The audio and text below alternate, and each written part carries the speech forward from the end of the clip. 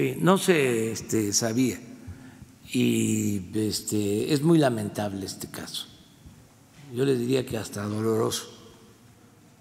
Yo le mando a Ricardo desde aquí un abrazo cariñosísimo a él y a toda su familia.